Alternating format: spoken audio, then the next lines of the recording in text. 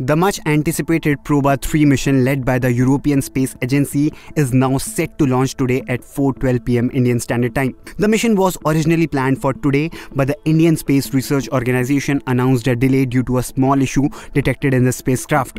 When it takes off today, it will be launched from India's Satish Dhawan Space Center using the reliable polar satellite launch vehicle known as ISRO's Workhorse rocket. So why is Proba 3 special? Proba 3 is not just any space mission, it's an incredible collaboration between ESA and ISRO and a technological marvel. This mission will study the sun's corona, the faint outermost layer of the sun that's usually hidden by its bright light. Here is how it works. Proba 3 consists of two spacecraft. One called the Occulter will block the sun's intense light creating an solar eclipse. The other, the coronagraph, will take detailed pictures of the sun's corona.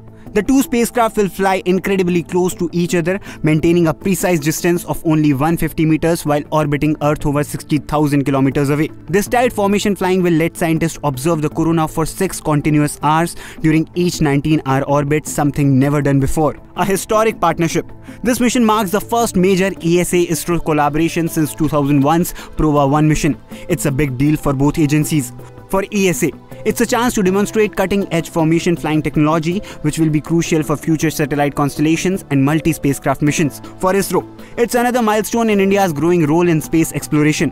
The PSLV XL was chosen for its accuracy, reliability and affordability, providing once again that India is a key player in the global space community. So why it matters? Proba 3 is more than just a mission to study the sun. It's a leap forward in space technology and international teamwork. By working together, ESA and ISRO are showing the world how global partnerships can push the boundaries of science and innovation.